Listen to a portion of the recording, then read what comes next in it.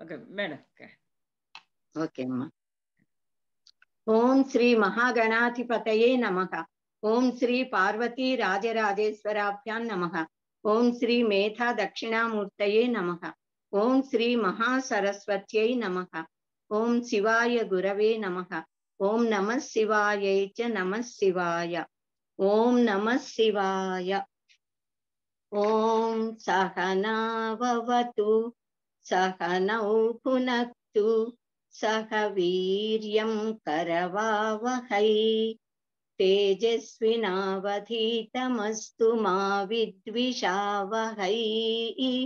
ఓం శాంతి శాంతి శాంతి. మనము సప్తమ అనువాకం పూర్తి చేసుకున్నాము ఇవాళ అష్టమ అనువాకం చెప్పుకోవాలి. అష్టమ నవమ చెప్పుకోవడానికి ప్రయత్నం చేద్దాము. మనకి ఆరవ అనువాకం దాకా ఆ శిష్యుడు భృగువు చేసినటువంటి పరిశోధన అతను కనిపెట్టిన అతనికి స్ఫురించిన ఆ బ్రహ్మము అంటే ఏమిటి అన్న వాటిని గురించి చెప్పి ఆనందం బ్రహ్మేతి వ్యజానాథ్ అని చెప్పారు. తర్వాత మొట్టమొదట్లో అన్నం ప్రాణం మనం అనంటూ గురువు గారు కూడా అన్నాన్ని ముందు చెప్పారు. ఇతను కూడా ఈ శిష్యుడు పరిశోధనలో మొట్టమొదట్లో ప్రారంభ దశలో అన్నం బ్రహ్మేతి వ్యజానాత్ అని అన్నమును గురించి చెప్పారు. ఎందుకంటే అన్నము వల్లనే సర్వము కూడా వర్ధిల్లుతున్నాయి. అన్నం అనేది అత్యంత ప్రాముఖ్యము. అది బ్రహ్మము యొక్క ఒక్క అంశం మాత్రమే అయినా కూడా అది మానవ మానవులకే కాదు జీవి మనుగడకి ముఖ్యాధారం కనుక ఇక్కడ మహర్షులు అంటే వేదమాత మనకు అన్నము యొక్క ప్రాముఖ్యతని గురించి అన్నము యొక్క మహా విషయాలు అని అంటారు వీటిని. అంటే మామూలు సాధారణమైన మాటలు కావు. కేవలము లౌకికంగా మామూలుగా స్నేహితులో ఇతరులు ఇంటి సంబంధికులో మాట్లాడుకునే మాటలు కాకుండా ఇవి వేదమాత చేస్తున్న అనుశాసనం లాంటివి. కనుక మహా వా- మాటలు గొప్ప సందేశాలు అని మనకి ఇక్కడ చెప్తున్నారు. కనుక ఈ మహా విషయాలు అన్నాన్ని గురించినవి. అదే సప్తమోను వాకంలో మొట్టమొదటి ఆ మహా సందేశము అన్నము గురించినది ఏమిటి అంటే అన్నం న నింద్యాత్ అన్నమును నిందించరాదు. తద్వ్రతం దానిని ఒక వ్రతములా స్వీకరించాలి. ఎందుకు అంటే ప్రాణోవా అన్నం. ప్రాణమే అన్నము శరీరం అన్నాదం. శరీరము అన్నాన్ని తింటుంది. ప్రాణే శరీరం ప్రతిష్ఠితం. శరీరే ప్రాణ ప్రతిష్ఠిత. ఇలా చెప్పి అన్నం ననింద్యాత్ తన్నది ముఖ్యంగా ఉపదేశించారు. ఇక్కడ ఈ ఎనిమిదవ అనువాకంలో కూడా మళ్ళీ అన్నాన్ని గురించి అలా ఒక మహా విషయాన్ని మనకి బోధిస్తోంది శృతి మాట అన్నం నా పరిచక్షీత. అంటే అన్నమును పరిహరించరాదు. పరిహరించడం అంటే అవాయిడ్ చేయడం. పరిహర్తవ్యం నా పరిహర్తవ్యం. ఇలా ఈ పదాలు మనం విన్నాం కదా. దీన్ని పరిహరించాలి దానిని పరిహరించకూడదు అది ఉండాలి అని. అలా ఇక్కడ కూడా అన్నం నా పరిచక్షిత తద్వ్రతం. అన్నాన్ని ఎటువంటి పరిస్థితులలో కూడా పరిహరించరాదు. అది వ్రతము. దానిని ఒక వ్రతముగా ఆచరించాలి. అన్నము అంటే జలములు కూడా. జలములు అంటే మనము తినేది తాగేది. ఘన పదార్థము ద్రవ పదార్థ రూపములలో ఉన్నటువంటి అన్నము. ఆ అన్నాన్ని దైవ సమానంగా బ్రహ్మముగా భావించి ఆదర భావంతో స్వీకరించాలి. తుష్టి పుష్టి శక్తిని పొందాలి. అంతేగాని చాలా ఎక్కువగా ఉంది కదా అని దాన్ని నిర్లక్ష్యం చేయకూడదు. కొద్దిగానే ఉన్న రుచిగా లేదనో వేరే కారణాల వల్ల దాన్ని నిరాదరించరాదు. అంటూ ఇలా నిన్న ఈ పాయింట్ కూడా కొంచెం చెప్పుకున్నాం మనం. కనుక అలా అన్నమును కనుక ఎవరైతే గౌరవిస్తాడో పరిహరించడో అన్నాన్ని భక్తితో సేవిస్తాడో అటువంటి వాడు అన్నవంతుడవుతాడు అన్నాదుడవుతాడు. సమృద్ధిగా అన్నం కలిగిన వాడవుతాడు అన్నాన్ని భుజించేవాడవుతాడు. అంటే చక్కగా ప్రజలు పశువులు సంపద అన్నిటినీ కలిగి బ్రహ్మ వర్చస్సుతో అతను శోభిల్లి ఒక మహా కీర్తిమంతుడవుతాడు బ్రాహ్మీ తేజోవంతుడవుతాడు. అని మనకి ఇక్కడ కూడా అదే చెప్తున్నారు. అన్నం నా పరిచక్షిత తద్వ్రతం ఆపోవా అన్నం. ఆపస్సులు అంటే జలములు కదా ఆపహ. జలములు కూడా అన్నం అన్నమే. జ్యోతి అన్నాదహ. మరి అన్నాన్ని తినేది ఎవరు అంటే జ్యోతి వెలుగు. వెలుగు అంటే అగ్ని. అగ్నికి నీరు అనేది ఆహారం నీటిని అగ్ని తింటుంది. అప్సు జ్యోతి ప్రతిష్ఠితం. ఎందుకు అంటే నీళ్ళలో అగ్ని ప్రతిష్ఠించబడి ఉంది. సాధారణంగా కూడా నీరు ఎక్కడున్నా అక్కడ అగ్ని ఉంటుంది. బడబాగ్ని రూపంలో సముద్ర జలాలలో ఉంది. నేలల్లో ఎక్కడైనా గుంటల్లో వాగులలో నదులలో సముద్రాల్లో ఎక్కడ నీరున్నా నీటి సహజ స్వభావము గుణము చల్లదనం కనుక చల్లదనము ఉన్నా అంతర్గతంగా అగ్ని తేజం ఉంటుంది అందులో. ఎందుకంటే అగ్నిలో నుంచి ఆపహ వచ్చింది అని మనకి సృష్టి క్రమంలో చెప్పారు. కనుక ఎందులో నుంచి ఒకటి వస్తుందో దాని లక్షణాలు ఈ వచ్చిన దాంట్లో కారణము యొక్క లక్షణాలు కార్యంలో ఉంటాయి. కనుక నీటిలో అగ్ని ఉంది. కనుక ఈ అగ్ని అనేది నీటిని భుజించేటటువంటిది అన్నాదహ అప్సు జ్యోతి ప్రతిష్ఠితం. నీటి ఎందు జ్యోతి ప్రతిష్ఠించబడి ఉంది అంటే అగ్ని. సత్య య ఏతద్ అన్నం అన్నే ప్రతిష్ఠితం వేద ప్రతిష్టతి చ అంటే మరియు సహ. అతడు యహ ఎవరైతే ఏతత్ అన్నం ఈ అన్నాన్ని అన్నే ప్రతిష్ఠితం. అన్నమునందు ప్రతిష్ఠించబడిన దానినిగా వేద తెలుసుకుంటాడో అతను ప్రతిష్టతి అతను ప్రతిష్ఠించబడి ఉంటాడు. స్థితుడై ఉంటాడు స్థిరంగా ఉంటాడు. అన్నావాన్ అన్నాదు భవతి అన్నావాన్ అవుతాడు అన్నవంతుడు అవుతాడు. అన్నాదహ అన్నమును తినేవాడు భవతి అవుతాడు. మహాన్ భవతి మహానుభావుడు మహాన్ అంటే గొప్ప శక్తిమంతుడు అవుతాడు తేజోవంతుడు అవుతాడు.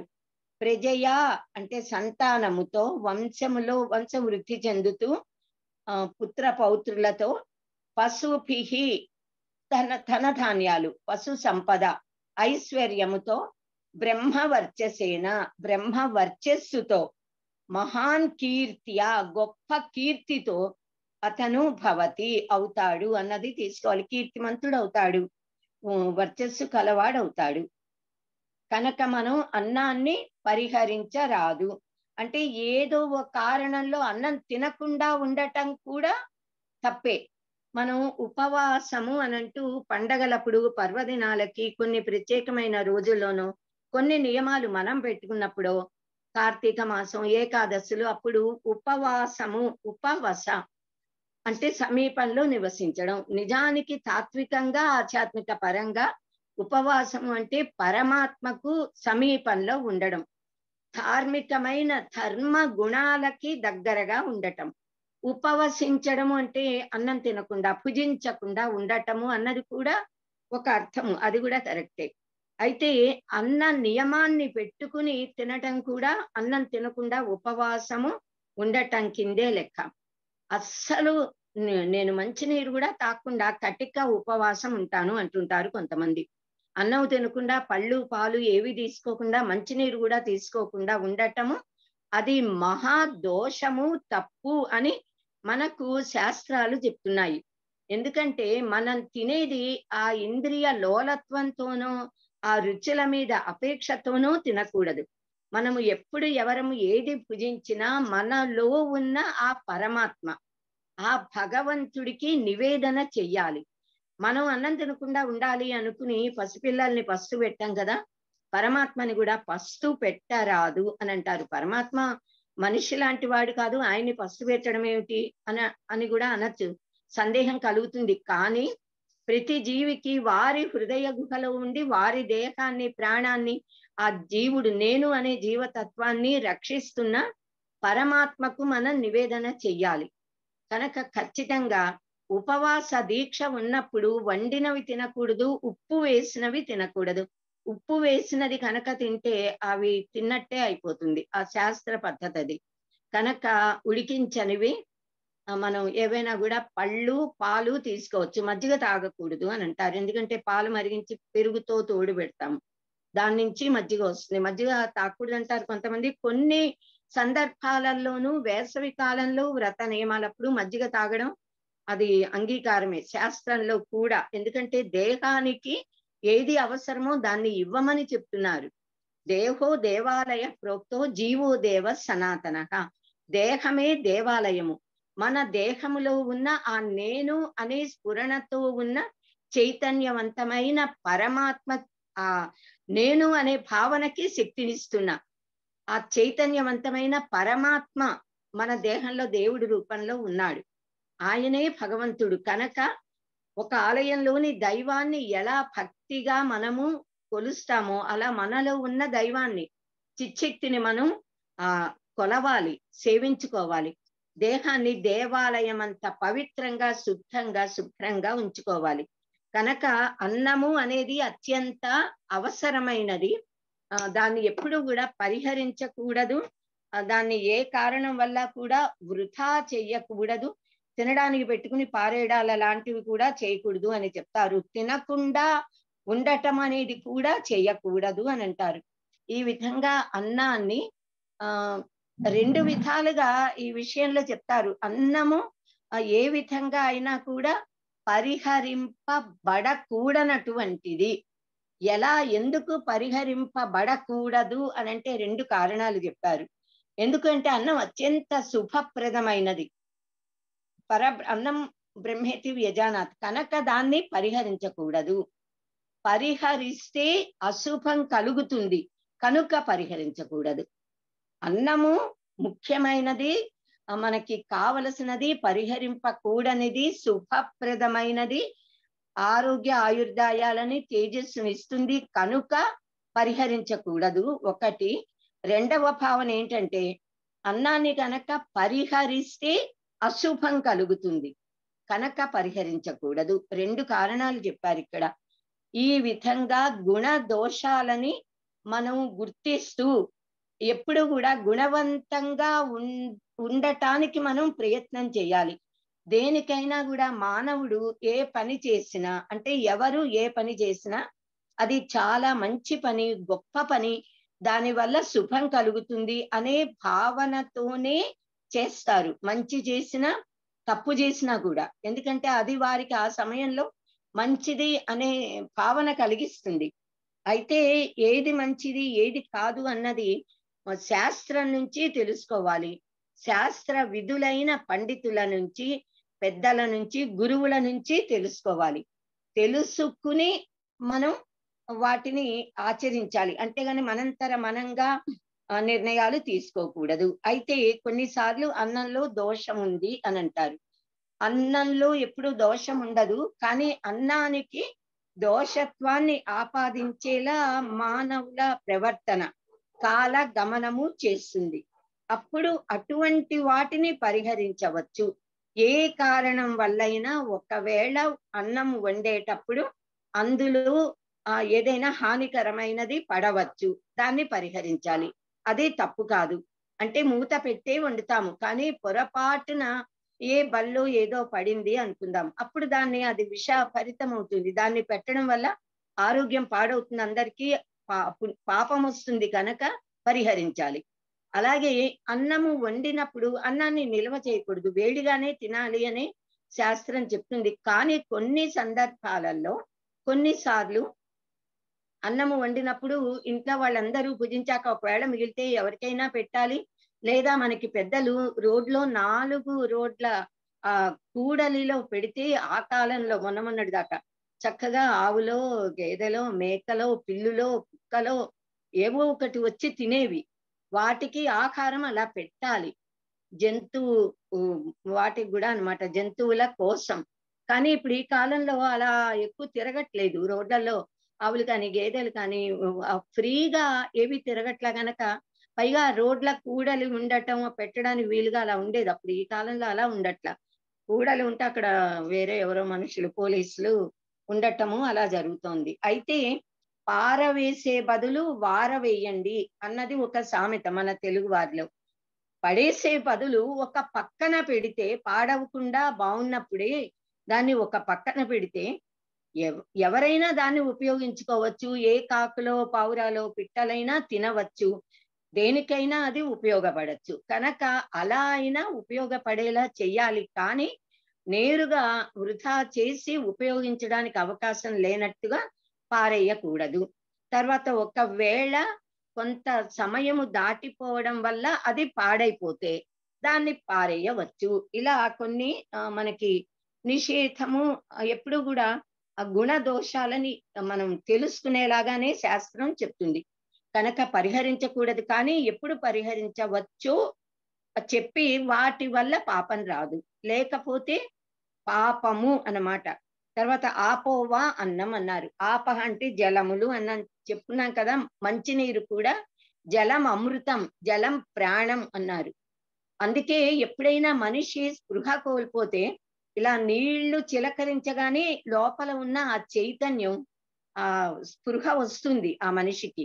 ఆ చైతన్యము జాగృతం అవుతుంది ఎందుకు? జలములలో అమృత శక్తి ఉంది. జలములలో ప్రాణ శక్తి ఉంది. చాలా కా సేపు ఒకటి రెండు రోజులు అన్నమే దొరకక నీ పోయిన రెండు మూడు రోజులు అన్నం తినకుండా ఉండగలుగుతారు కానీ కొన్ని గంటలు దాటి నీళ్ళు తాగకుండా ప్రాణి ఉండలేదు. మనుషులం కూడా ఉండలేము. గాలి పీల్చకుండా కొన్ని సెకండ్లు నిమిషాలు ఉండటమే చాలా కష్టం మామూలు మానవులకి. యోగులకి తప్ప యోగులకి ఇవేవి అవసరం లేదు. కనుక ఈ జలం అమృతం అన్నారు.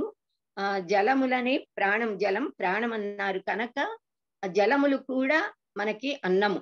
జ్యోతి అన్నాదం. జ్యోతి అంటే అగ్ని. అగ్ని దేవుడు అగ్నిహోత్రుడు ఆ దీనికి జలములకి జలములను భుజించే అన్నాదుడు అన్నమును తినేవాడు. అన్నాన్ని తినేటటువంటిది అన్నమాట అగ్ని. జలములు అన్నమే ఎలా అంటే ప్రాణాలు అన్నము అనబడే పదార్థంతో పాటు మనం ఎప్పుడు భోజనానికి కూర్చున్నా అన్నం తినేటప్పుడు ఫలహారం చేస్తున్నా ఫలహారం చేసేటప్పుడు అన్నంతో పాటు జలములను కూడా స్వీకరిస్తాము. కనుక ఘన ద్రవ పదార్థ రూపమైన అన్నము జలములు రెండు కూడా అన్నమే. కనుక ఈ జలములని లోపలికి తీసుకోవడం వలన మన జీర్ణ ప్రక్రియ బాగా పనిచేస్తుంది. చక్కగా కావలసినంత నీరు త్రాగాలి.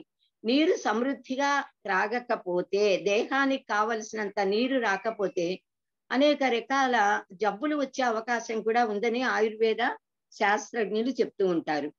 తర్వాత మనకి ఆ అపాన వాయువు సక్రమంగా పని చెయ్యాలి అంటే జలముల సహకారం ఉండాలి ఆ వాయువుకి. అప్పుడే చక్కగా లోపల పరిణతి చెందడం అదంతా జీర్ణం జఠరాగ్ని వల్ల ఆ శక్తి అంతా రస రూపంలో శరీరానికి రక్తంలో రావడం అక్కలేని వెళ్ళడం ఇవన్నీ జరుగుతాయి కనుక అన్నము జలవులు. ఘన పదార్థము ద్రవ పదార్థ రూపాల్లో ఉండే రెండు కూడా ఆ మన శరీరంలోకి వెళ్ళి లోపల ఉన్న జఠరాగ్ని మన కడుపులో జఠరాగ్ని ఉంది కదా ఆ జఠరాగ్ని వాటిని పచనం చేస్తుంది.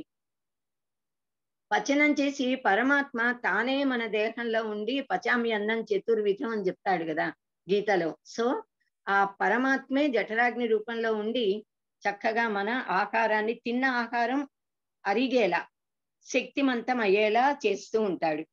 మన శరీరంలో సప్త ధాతువులు ఉంటాయి కదా ఈ ధాతువులకి చక్కని శక్తి రావడానికి కూడా కారణం అంటే ఆ ధాతువులకి ఏ ఏ ధాతువుకి ఏ విధంగా అన్నరసం కావాలో ఆ విధంగా వాటిని మార్చే శక్తి ఈ అగ్నికి ఉంది జఠరాగ్నికి. మనము తిన్న అన్నము ఏదైనా సరే అన్నం తిన్నా ఇడ్లీలు వడలు దోశ లాంటివి ఏవి తిన్నా ఆ తిన్న పదార్థాన్ని చక్కగా పచనం చేసి అందులోని సారాన్ని తీసి రక్తముగా మార్చి దేహం అంతకి ఇస్తుంది. శక్తిగా మార్చి ఎముకలకి ఇస్తుంది. నరాలకి కానీ కండరాలకి చర్మానికి దేని దేనికి ఏ విధమైన ఆ శక్తిని ఇవ్వాలో ఆ శక్తిని ఇస్తుంది. ఆ ప్రక్రియ అంతా మనకి అగ్ని వల్ల జరుగుతుంది. కనుక అగ్నిని అన్నాదము అన్నారు. అగ్నే తింటోంది. మనం కాదు తిన్నది. మనము అని మనకి భ్రమ. తింటున్నది మనలోని జఠరాగ్ని అన్నమాట అది తింటోంది. అలాగే ఇప్పుడు మేఘం నీటిని కురిపిస్తుంది వర్షం పడుతుంది. మనకి వాన పడే ముందర కొన్నిసార్లు ఉరుములు ఉరుముతాయి. మెరుపులు విద్యుత్తు మెరుపు తీగలు సౌదామిని అని అంటాము. మెరుపు తీగలు ఆకాశంలో కనిపిస్తూ ఉంటాయి. అంటే ఆ విద్యుత్తు అనేది అగ్ని అనేది అందులో కూడా ఉంది. ఈ అగ్ని అనేది ఆ అంటే సూర్యుడు జలములని ఆహారంగా స్వీకరిస్తాడు. సూర్యుడు అంటే మండే అగ్నిగోళం మార్తాండు అగ్నే కదా? కనుక అగ్ని జలములని భక్షిస్తోంది తిన్నాక వర్ష రూపంలో మళ్ళీ అనుగ్రహిస్తున్నాడు సూర్యుడు. ఆ వర్షంతో పాటు మనకి విద్యుత్తు అనేది కూడా వస్తుంది. అంటే ఆ నీళ్ళలోనే విద్యుత్ శక్తి ఉంది. నీటి నుంచే మనం విద్యుత్ శక్తిని అందరూ తయారు చేయడం ఈ కాలంలో కూడా చూస్తున్నాం కదా. వి చాలా మనకున్న కరెంట్ అంతా విద్యుత్ అంతా నీటి ద్వారా సౌరశక్తితో కూడా సూర్యకిరణాల నుంచి కూడా మనం తయారు చేయడాన్ని చూస్తున్నాము. మన దేహము నీరు లేకపోతే తాపం చెందుతుంది. ఎందుకంటే ఆ లోపల ఉన్న అగ్నిహోత్రుడికి ఆహారం కావాలి. ఎప్పుడు ఎప్పుడు ఆ అగ్ని ప్రజ్వరిల్లుతూ ఆ ఆహారం కావాలి అని భావిస్తుందో అప్పుడు మన శరీరానికి సంకేతాలను ఇస్తుంది. మనం వాటిని ఆకలి అని అంటాము దాహము అంటాము. నాకు దాహం వేస్తోంది అని నీరు త్రాగుతారు. ఎప్పుడు దేహానికి నీరు కావలసి వస్తుందో అప్పుడు ఈ అగ్నిహోత్రుడు మనలోకి ఆ చెప్తాడనమాట అలాగే ఆకలి అనే భావనతో మనకి ఆకలిని తెలియజేస్తాడు. దేహానికి ఆ శక్తి కావాలి అంటే పదార్థం లోపల పడాలి అన్నది. ఇవన్నీ కూడా మన లోపల ఉన్న జ్యోతిస్సు వల్ల జరుగుతోంది. అగ్ని వల్ల జరుగుతోంది అని మనకి శృతిమాత ఇక్కడ బోధిస్తున్నట్టుగా మనం గ్రహించాలన్నమాట. కనుక ఈ జ్యోతిస్సులలో కూడా జల దేవత ప్రత్యక్షమై ఉంది ప్రతిష్ఠితమై ఉంది అని మనం గ్రహించాలి. జలములలో అగ్ని ఎలా ఉందో అలాగే అగ్నిలో కూడా జలములు ప్రతిష్ఠితమై ఉన్నాయి. పరస్పరము ఆధార ఆధేయాలు రెండు రెండింటికి కూడా. అగ్ని కొద్దిగా నిప్పున్నప్పుడు నీళ్ళు చల్లగానే అది ఉపశమిస్తుంది. పెద్ద అగ్నిజ్వాల ఉన్నప్పుడు నీళ్ళు వేస్తే ఆ అగ్ని ఇంకా పెద్దదవుతుంది.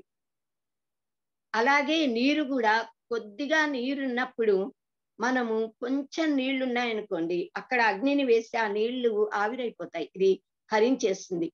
చాలా నీటి ప్రవాహంలో మనం పెద్ద అగ్నిని వేసినా కొంతసేపు ఉండి నెమ్మదిగా అగ్ని అందులో లీనమైపోతుంది. కనుక ఈ రెండు ఒకటికి ఒకటి ఆధారము ఆధేయము ఒకటికి ఒకటి అన్నము అన్నాదము కూడా అని మనకి ఇక్కడ ఈ మంత్రం తెలియజేస్తుంది. అప్సు జ్యోతి ప్రతిష్ఠితం. జలములందు నిప్పు అగ్ని ప్రతిష్ఠించబడి ఉన్నది. జ్యోతిషు అగ్నుల ఎందు ఆపహ ప్రతిష్ఠితాక. జలములు కూడా ప్రతిష్ఠించబడి ఉన్నాయి. తదేతదన్నమన్నే ప్రతిష్ఠితం. కనుక అందువలన తత్. ఏ తత్ అన్నం అన్నే ప్రతిష్ఠితం. ఈ విధముగా అన్నము అన్నమునందు ప్రతిష్ఠితమై ఉన్నది. అంటే రెండు కూడా ఒకదాని ఎందు ఒకటి ప్రతిష్ఠితములై ఉన్నాయి. జలములు అగ్ని ఎందు అగ్ని జలములందు కూడా ప్రతిష్ఠితమై ఉన్నాయి. అంటే జలము అన్నము అగ్ని అనే మూడు పదార్థాలు.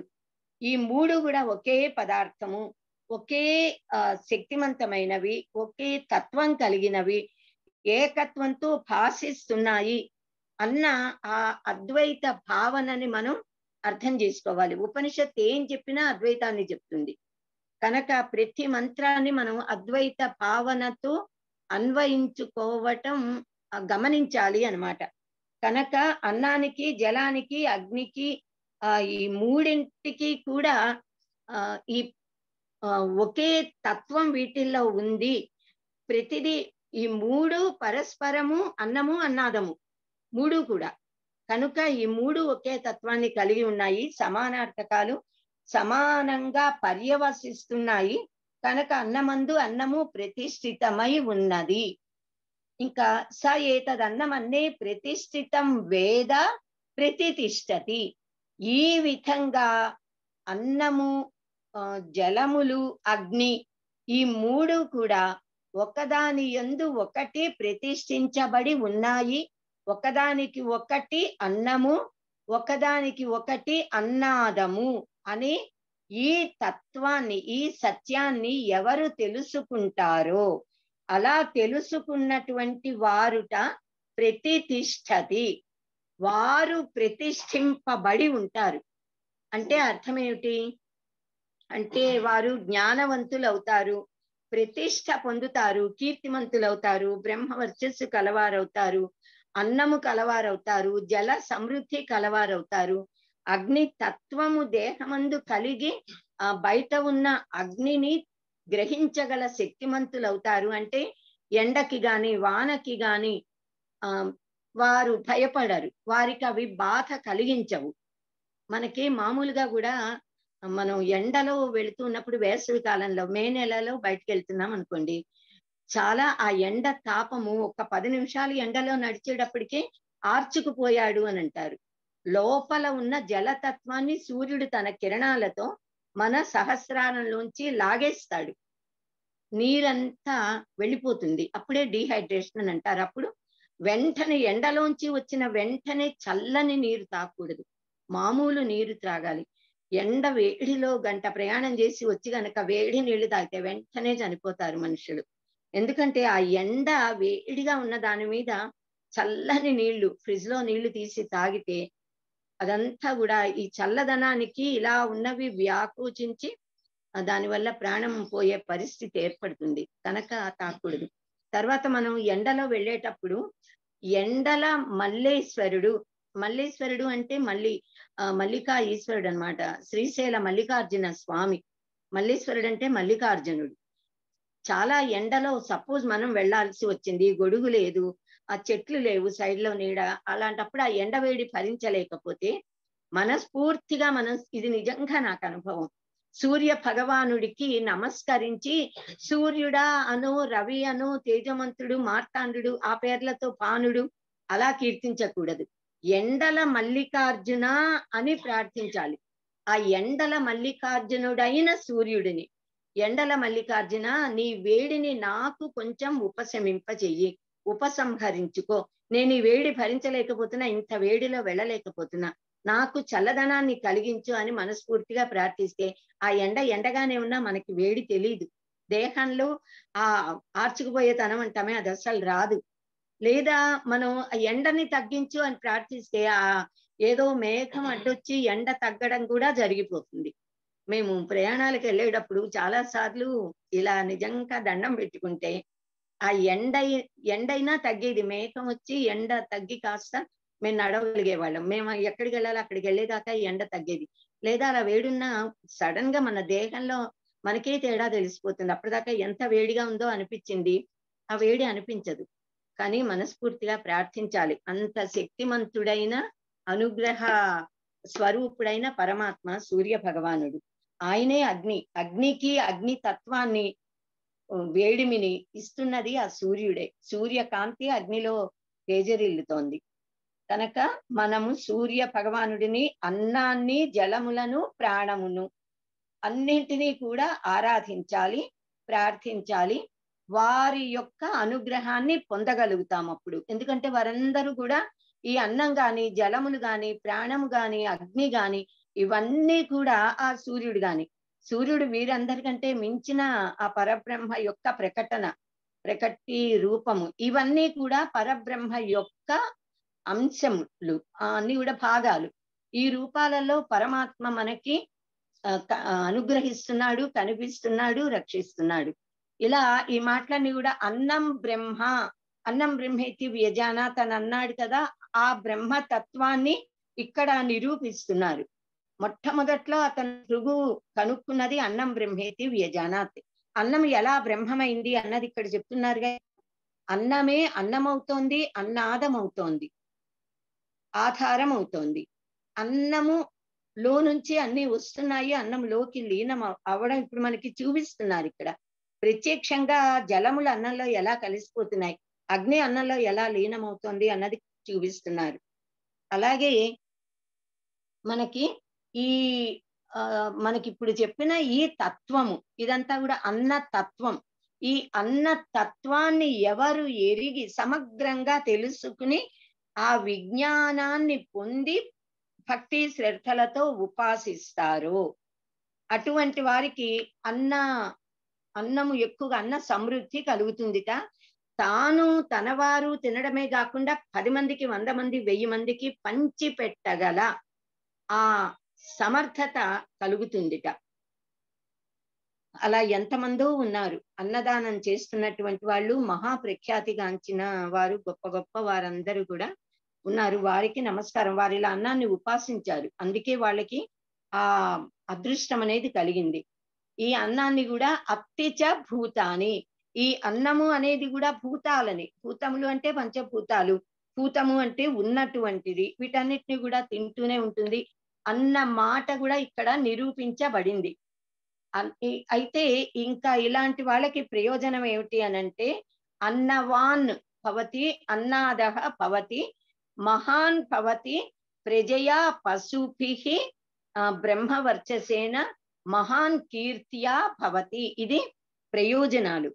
ఈ అన్నమును ఆరాధించడం వలన అన్నమును నిందించకుండా ఉండడం వలన అన్నమును పరిహరించకుండా ఉండటం వలన ఈ వ్రతములను ఆచరించటం వలన కలిగిన లాభాలు ఏమిటి అనంటే అన్న వా అన్నవంతుడవుతాడు అన్నాదుడవుతాడు ప్రజలని పొందుతాడు పశువులని సంపదని పొందుతాడు బ్రహ్మ వర్చస్సుని పొందుతాడు కీర్తిమంతుడు అవుతాడు ఇది ఈ బ్రహ్మ వర్చస్సు అనంటే బ్రహ్మ వర్చస్సు ఎప్పుడు కూడా బ్రహ్మ జ్ఞానం వల్లే కలుగుతుంది. కేవలం భోజనం చేసి ఆరోగ్యంగా ఉంటే కలిగే శోభ వేరే. బ్రహ్మ జ్ఞానము విజ్ఞానము ఎప్పుడు లోపల ఉంటుందో జీవుడికి కలుగుతుందో ఆ బ్రహ్మ జ్ఞానము పొందిన అన్నమే బ్రహ్మము అని తెలుసుకున్న జ్ఞానం. ప్రాణమే బ్రహ్మము అని తెలుసుకున్న జ్ఞానము. ఆ జ్ఞాన తేజస్సు బ్రహ్మ వర్చస్సు. కనుక ఈ జ్ఞానము ఎవరికి కలుగుతుందో అతను బ్రహ్మ వర్చస్సు కలవాడవుతాడు కీర్తిమంతుడు అవుతాడు అతడి కీర్తి అంతటా కూడా చక్కగా వ్యాపిస్తుంది. ఇంకా నవమ అనువాకము తొమ్మిదవ అనువాకం. ఈ తొమ్మిదవ అనువాకంలో అన్నం బహుకుర్వీత మళ్ళీ అన్నమును గురించి చెప్తున్నారు. ఫస్ట్ ఆ ఏడవ దాంట్లో అన్నం ననింద్యాతి. ఎనిమిదవ అనువాకంలో అన్నం న పరిచక్షిత. ఇప్పుడు ఇందులో అన్నం బహుకుర్వీత అని చెప్తున్నారంటే అన్నమును గొప్పదిగా చాలా శ్రేష్టమైన దానినిగా మనము దాన్ని గౌరవించాలి భక్తిని చూపించాలి దాన్ని మనం ఆరాధించాలి. దైవముగా ఆరాధించడం అన్నమాట ఇక్కడ చెప్తున్నది ఉపాసన అన్న ఉపాసన. మనకి అన్న సూక్తం అని ఉంది. సాధారణంగా కొన్ని కొన్ని సందర్భాలలో ఆ ఋత్వికులు అన్న సూక్తాన్ని పఠిస్తారు. అన్న సూక్తాన్ని జపించిన వారికి అన్న సూక్తం జపించబడితే విన్న వారికి కూడా అన్నం లోటు ఉండదుట అన్న సూక్తంలో ఒక గొప్పదనం ఉంది. ఆ మంత్రాల ఉచ్చారణలు ఆ శబ్ద ప్రకంపనల వల్ల ఆ శక్తి కలుగుతుందన్నమాట. అన్నం బహుకూర్వీత తద్వ్రతం. ఇది కూడా వ్రతమే. పృథివీ వా అన్నం. ఇక్కడ అన్నం ఏది? పృథ్వీ. మొత్తం యావత్ భూమండలము భూమాత. పృథ్వీ అప్తేజు అనే ఈ పంచభూతాలలో పృథ్వీ అని ఏది ఉందో ఆ పృథ్వీ మొత్తము అన్నము. ఇదే అన్నం. మరి ఇంత పెద్ద అసలు పృథ్వీ అనే పదమే పృథు విస్తరణే అనే ధాతువు నుంచి వచ్చింది. అది చాలా విస్తరించి ఉంది కనుక అది పృథ్వీ. మరి ఇంత విస్తృతంగా ఉన్న పృథ్వీని తినగలిగిన అన్నాదుడు పృథ్వీ కంటే ఇంకా విశాలంగా ఇంకా పెద్దగా ఇంకా ఎక్కువ శక్తిమంతుడై ఉండాలి కదా? అందుకని ఈ పృథ్వీ అనే అన్నాన్ని తినే అన్నాదుడు ఎవరు అంటేట ఆకాశంట ఆకాశ అన్నాద. పృథివ్యాం ఆకాశ ప్రతిష్ఠిత. ఆకాశే పృథివీ ప్రతిష్ఠిత. తదేతదన్నమన్నే ప్రతిష్ఠితం. స ఏతదన్నమన్నే ప్రతిష్ఠితం వేద ప్రతిష్టతి ఇవన్నీ కామన్ అన్నింటికీ కూడా. అన్నావాన్ అన్నాదు భవతి మహాన్ భవతి ప్రజయా పశుభి బ్రహ్మవర్చసేన మహాన్ కీర్త్యా భవతి అన్నమాట. అంటే అన్నం బహుకుర్వీత అన్నారు. బహుకుర్వీత అనేటప్పటికీ ఇప్పుడు ఈ వాక్యానికి అర్థాన్ని ఏం చెప్పుకోవాలంటే మామూలు అర్థాలలో అన్నమును గౌరవించండి. ఎందుకంటే అన్నము ప్రాణము ఆ ఇవి అన్ని కూడా ఒక సముదాయము సమాహారము. ఇవన్నీ కూడా ఒకదానికొకటి భోగ్య వస్తువులు అన్నం తినాలి. కనుక తినేదానిని ఎప్పుడు గౌరవించాలి. ఒక చిన్న కథ ఉంది. ఆ పిల్లిట పిల్లికి చెలగాటం ఎలకకి ప్రాణ సంకటం అంటారే.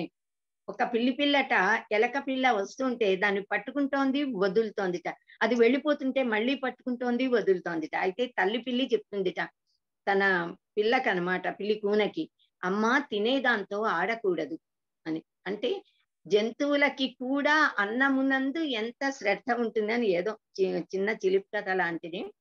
అలా చెప్తారంటే అన్నము అనేది సర్వ ప్రాణికోటికి కూడా ఆ బహుకుర్వీత గౌరవింపబడవలసినది అన్న తత్వాన్ని ఇక్కడ మనకి చెప్తున్నారనమాట కనుక ఈ అన్నం బహుకుర్వీత అన్నదాన్ని మనము తాత్విక పరంగా తత్వపరంగా కనుక చెప్పుకోవాలి అంటే అన్నము ప్రాణము కలిసినది శరీరం.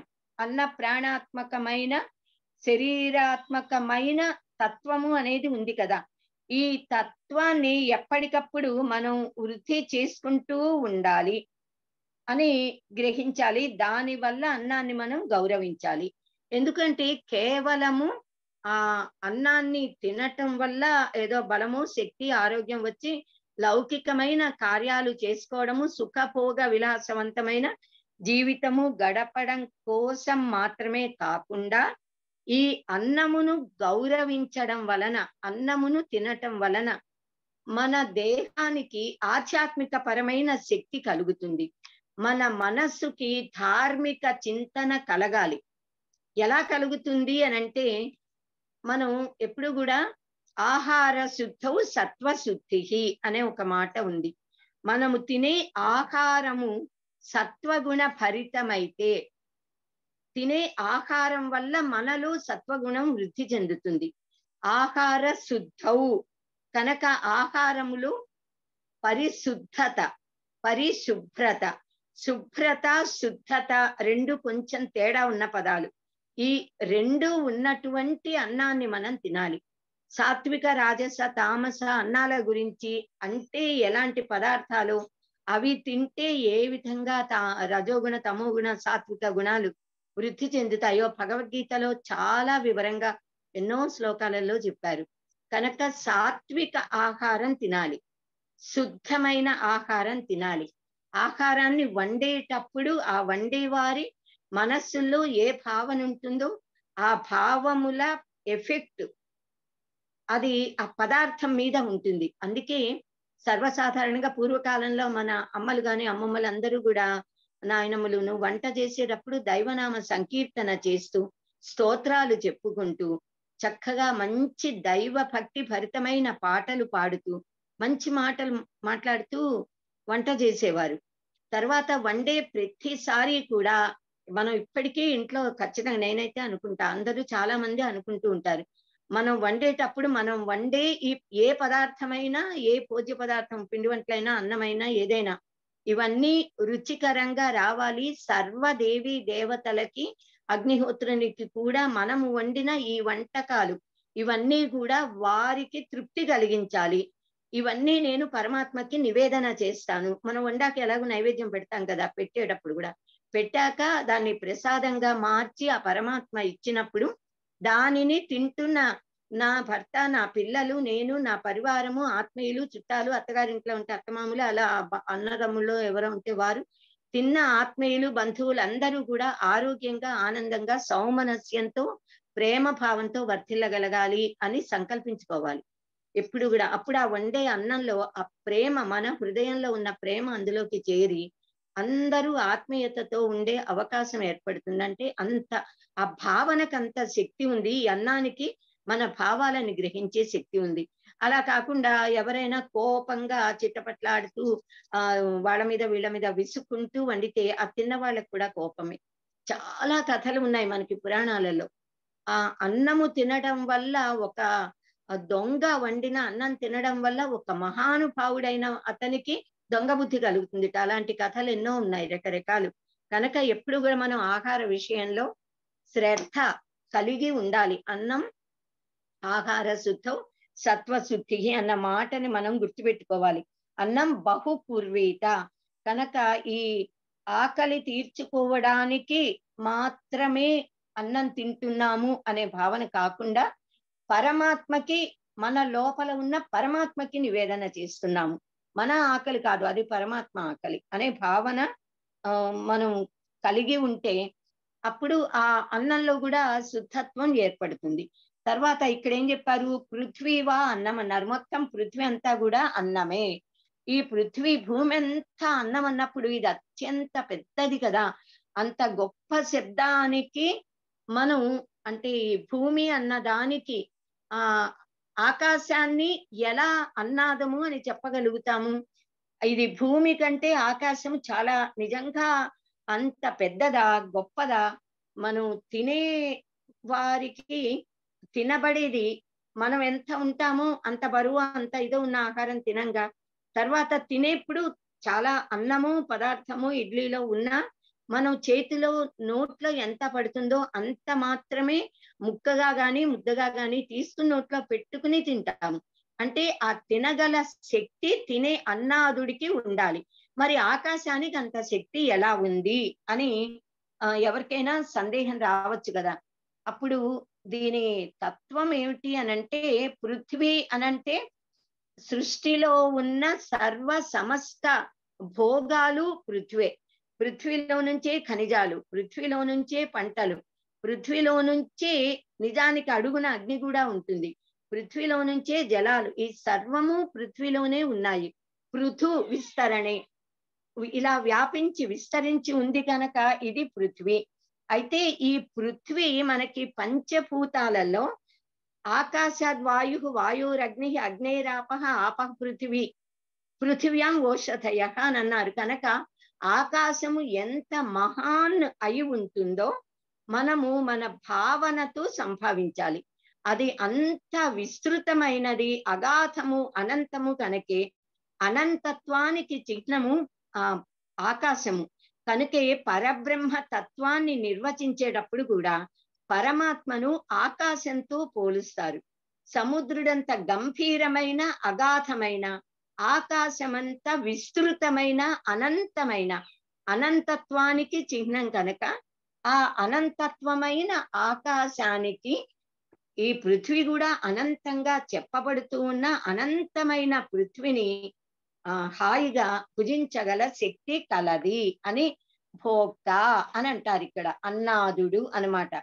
అన్నాదుడు అన్నం మనకి ఆ ఇంట్లో పితృకార్యాలు చేసేటప్పుడు అప్పుడు కూడా అన్నం చెప్పోక్త అహం చెప్పోక్త అలా మంత్రాలు చెప్పిస్తారు కదా. అలా కూడా ఇప్పుడు అన్నము అనేది పరబ్రహ్మమే. ఈ తినేవాడు పరబ్రహ్మమే. ఆ ఆకాశము పరబ్రహ్మమే. ఒక పరబ్రహ్మము ఇంకొక పరబ్రహ్మాన్ని తినటము కాదు. అంటే తనలు లీనం చేసుకోవడం. ఆ తత్వాన్ని తాను గ్రహించడం తన తత్వాన్ని దానికి ఇవ్వటము అన్న ఆ భావాన్ని మనం ఇక్కడ పరస్పరము గ్రహించాలి. మనకి వేదంలో ఋగ్వేదంలో ద్యావా ఆ ద్యావా పృథివీ సూక్తాలు. సూక్తాలలో భూ సూక్తం ఉంది. ఇలా సూక్తం భూ సూక్తం మన్యు సూక్తం అనేక సూక్తాలు. ఈ ఆకాశము తండ్రి పృథ్వీ అనేది తల్లి. ఈ భూమికి ఆకాశానికి ఈ తల్లిదండ్రులకి పుట్టిన సంతానము ఈ విశ్వంలో ఉన్న భూమి మీద ఉన్న సర్వ స్థావర జంగమాత్మక ప్రకృతి ప్రాణికోటి అని వేదం చెప్తోంది. మనం మనకి కవులు మటుకు సాధారణంగా ఏం చెప్తారంటే ఆకాశము భూమి అలా దూరాన ఓపెన్ ప్లేస్లోకి వెళ్ళి చూస్తే ఒక చోట కలిసి ఉన్నట్టుగా కనిపిస్తుంది. కానీ నిజానికి కలవవు ఆకాశం భూమితో ఎప్పుడూ కలవదు అని చెప్తూ ఉంటారు కవులు వారి రచనలలో వర్ణనలలో ఆ వ్యాఖ్యానించేటప్పుడు అనమాట కానీ మనం ఇక్కడ దీన్ని బ్రహ్మతత్వముగా సంభావన చేస్తే ఈ భూమి అనేది ఆకాశము అనేది ఆకాశము పృథ్వీ రూపమైన ఈ అన్నాన్ని భుజించే తత్వం కలిగి ఉందన్నమాట. భూమిని ఆకాశం తినడం అంటే తనలో కలిపేసుకోవడం. అలాగే మహా ప్రళయం వస్తుంది. మనకి ప్రళయాలు ఎన్ని రకాలుగా ఉన్నాయన్నది శ్రీమద్ భాగవతంలో చాలా బాగా చెప్పారు. ఆత్యంతిక ప్రళయం గాని మహా ప్రళయం గాని రోజు రోజు ప్రళయమే. ప్రతిరోజు మనము నిద్రిస్తాము. తాత్కాలిక ప్రళయం. మన నిద్రపోయినప్పుడు మన ఇంద్రియాలన్నీ కూడా మనస్సులో లీనమయ్యి మనస్సు పరమాత్మ దగ్గరికి వెళ్తుంది. అందుకే స్వపితి స్వం అపైతి అపేతి. అంటే తనని తాను పొందుతోంది తన అసలు తత్వమైన పరమాత్మ దగ్గరికి వెళుతున్నాడు. నిద్రపోతున్న సమయంలో సుషుప్తి గాఢ నిద్ర. స్వప్నం కాదు స్వప్న రహితమైన గాఢ సుషుప్తిలో ఆ పరమాత్మ దగ్గరికి వెళుతోంది. మనలో ఉన్న ఆ జీవుడు. ప్రాణం అనేది ఎప్పుడూ పనిచేస్తూనే ఉంటుంది.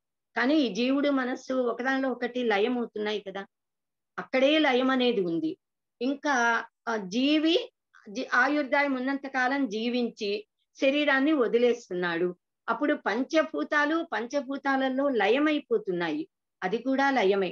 ఈ జీవుడు తన కర్మ వాసనల సంచి పట్టుకుని ఆ ఎక్కడికో వెళతాడు. మళ్ళీ తిరిగి పుట్టడము ఆ స్వర్గాది లోకాల్లో సుఖభోగాలు అనుభవించడము లేదా పరమాత్మగా బ్రహ్మముగా ఆ తాదాత్మ్యం చెంది ముక్తుడవడమో ఏదో ఒకటి జరుగుతుంది కదా అది కూడా లీనం అవటమే ఇంకా ఆత్యంతిక ప్రళయం అంటే కల్పాంతంలో ప్రళయం వచ్చేటప్పుడు మొత్తం ఈ భూమి అంతా జలమయం అయిపోవచ్చు లేదా అది జల ప్రళయం వాయు ప్రళయం రావచ్చు. విపరీతమైన వాయువు వీచి అన్ని నేలమట్టం అయిపోయి ధ్వంసం అయిపోయి ఇంకేది ఉండదు.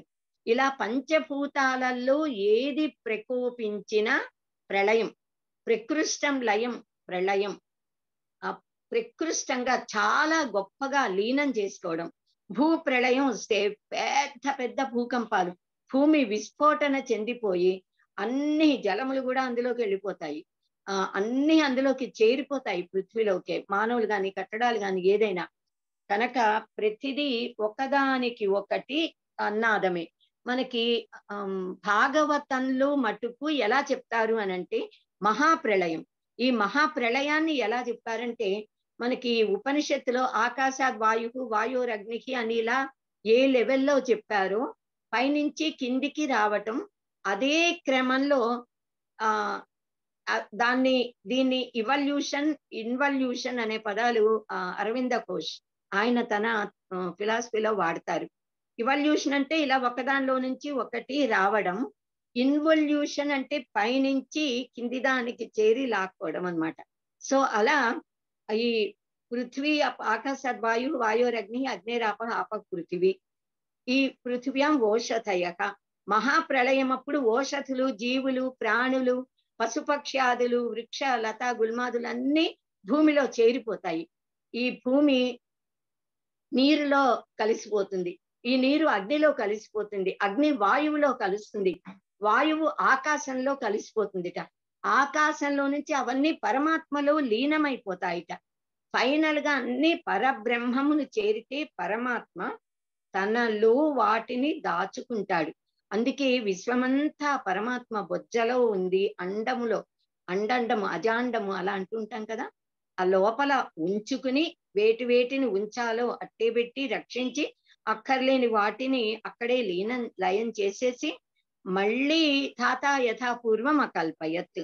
మళ్ళీ సృష్టి చేసేటప్పుడు కల్ప ప్రారంభంలో తనలో ఏవేవి ఇముడ్చుకున్నాడో వాటిల్లో వేటి వేటిని బయటికి తీయాలో అలా మళ్ళీ అన్ని వస్తు తత్వాలు లత గుల్మాదులు చెట్లు పర్వతాలు నదీ నదులు ఆ ప్రాణికోటి మానవులు జీవులందరూ కూడా జీవులు మటుకు వారి వారి కర్మల ఫలాలను అనుసరించి మళ్ళీ రూపాలు పొందుతూ అలా బహిర్గతం అవుతాయి అంటే ఆ ఒకదానికి ఒకటి ఇవన్నీ కూడా ఒకదాంతో ఒకటి పూసగుచ్చినట్టుగా అయిపోతాయి. దారాలతో కట్టినట్టుగా అయిపోతాయి.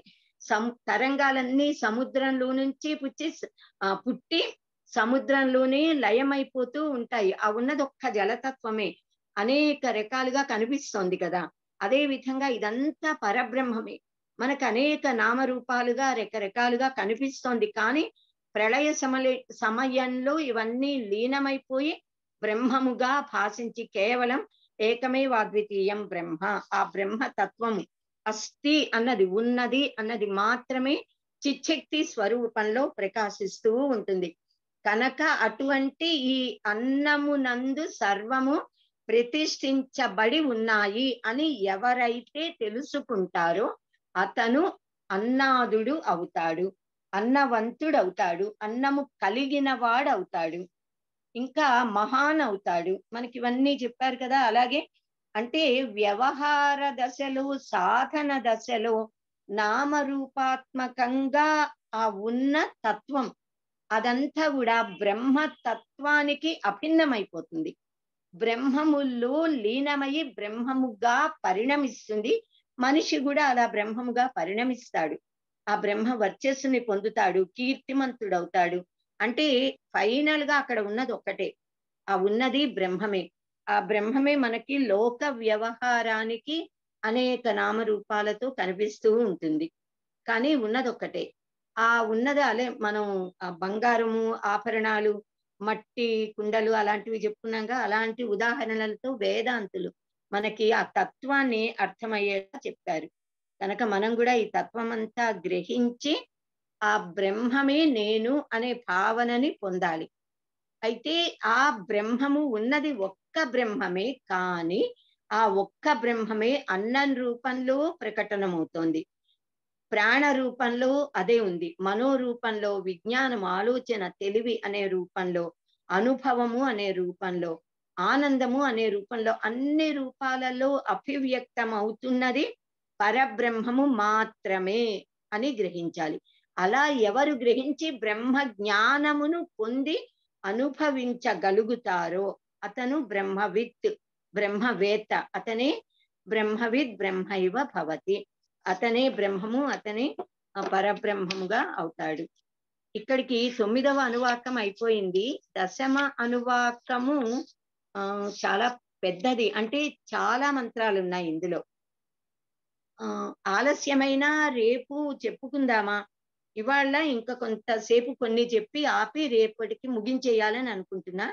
ముగిస్తే ఇరవై ఏడో తారీఖు నుంచి వేరే అధ్యాపకులు వేరే సబ్జెక్ట్ని పేపర్ని మీకు బోధించడానికి కూడా అవకాశం ఉంటుంది కదా? ఏమంటారమ్మా? వాణి ఏమంటావు తల్లి? ఇప్పుడు ఇంకో అరగంట చెప్పనా? రేపు చెప్పుకున్నా పర్వాలేదా? రేపు చెప్పుకున్నా పర్వాలేదు మేడము. ఎల్లుండి నుంచి వీళ్ళకి మళ్ళీ ఛందస్సు క్లాసెస్ మొదలవుతున్నాయి. వసంత లక్ష్మి గారు. చేత ఛందస్సు క్లాసెస్ మొదలవుతున్నాయి. మీరు రేపు కూడా చెప్పుకోవచ్చు మేడం. ఓకే సరే. వాళ్ళకి ఇక్కడ కరెక్ట్ పన్నెండే అయింది ఇవాళ అందుకని సరే అయినా ఇవాళ ఆపుకుందాము. రేపు కావాలంటే అరగంట ఎక్కువ చెప్పుకోవచ్చు. Twelve thirty. తప్పకుండా అండి. మాక్సిమం అంటే ఆ చాలా రకరకాల చిన్న చిన్న వాక్యాలు. మామూలుగా చదివితే మనకు అసలు అవి అర్థం కావు. కానీ ప్రతి వాక్యంలో తాత్విక అర్థాలు అవన్నీ కూడా అద్భుతం. అది జిజ్ఞాస ఉన్న వాళ్ళకి చాలా బాగుంటాయి. అన్ని ఒక్కోటి ఒక్కో సూక్తం ఒక్కోటి ఒక్కో సూత్రం అలా ఉంటాయి ఈ చిన్న వాక్యాలు. అయితే అది రేపే చెప్పుకుంటే బాగుంటుంది మేడం. ఎందుకంటే అది ప్రత్యేకంగా ఉంది కదా అది రేపు ఒక్కొక్కటి ఒక్కొక్క ఇప్పుడు దాకా ఉన్నట్టు ఇలా ఇంట్రెస్ట్గా కథలాగా ఉండదు కానీ ఈ కథ యొక్క పర్యవసానం ఒక అద్భుతమైన తత్వం. ఆ జిజ్ఞాస ఉన్న వాళ్ళకి ఇవన్నీ రత్నాలల్లా కనిపిస్తాయి ఒక్కొక్కటి మనకి కాళిదాస్ గాని భవభూతి గాని ఎలాంటి అద్భుతమైన రత్నాలు మనకి ఇచ్చారో సూక్తులు ఇవన్నీ అలాంటివి చాలా బాగుంటాయి. సరే ఇవాళకి స్వస్తి. ఓం సహనావతు సహనౌ భునక్తు సహ వీర్యం కరవావహై తేజస్వినావధీతమస్మా విద్విషావహై ఓం శాంతి శాంతి శాంతి సర్వే భవంతు సుఖినః సర్వే సంతు నిరామయాః సర్వే భద్రాణి పశ్యంతు మా కశ్చిత్ దుఃఖ భాగ్ భవేత్ ఓం శాంతి శాంతి శాంతి. స్వస్తి. ఎవరికైనా సందేహాలు ఉంటే మటుకు అడగండి.